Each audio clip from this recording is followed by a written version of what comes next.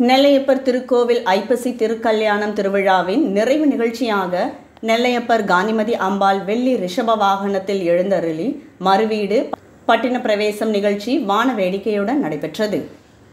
தமிழகத்தில் பிரசித்தி பெற்ற சிவாலயங்களில் ஒன்றான நெல்லையப்பர் திருக்கோவில் ஐப்பசி திருக்கல்யாண திருவிழா கடந்த இருபத்தி இரண்டாம் தேதி கொடியேற்றத்துடன் தொடங்கியது.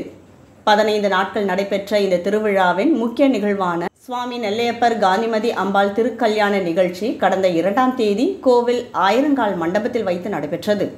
அதனைத் தொடர்ந்து மூன்று நாட்கள் ஊஞ்சல் உற்சவம் காந்திமதி அம்பாள் சன்னதி ஊஞ்சல் மண்டபத்தில் வைத்து நடைபெற்றது. அதனைத் தொடர்ந்து சுவாமி நல்லையப்பர் காந்திமதி அம்பாள் வெள்ளி ரிஷப வாகனத்தில் சிறப்பு அலங்காரத்தில் எழுந்தருளி காந்திமதி அம்பாள் தம்பதி சமேதராக அப்பா சன்னதியிலிருந்து சுவாமி சன்னதிக்கு எழுந்தருளும் மறுவீடு பட்டின பிரவேசம் நிகழ்ச்சி நடைபெற்றது.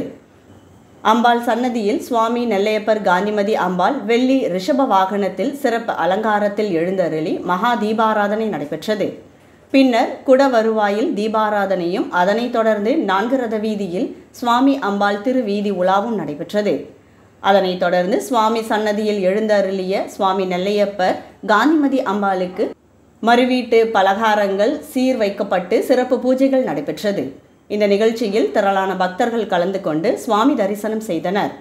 கொரோனா நோய் பரவல் தடுப்பு விதிமுறைகள் காரணமாக இரண்டு ஆண்டுகளுக்கு பிறகு சுவாமி அம்பாள் வெள்ளி ரிஷப வாகனத்தில் நான்கிறது வீதிகளில் உலா வரும் நிகழ்ச்சி நடைபெற்றதை திரளான பக்தர்கள் தரிசனம் செய்தனர்.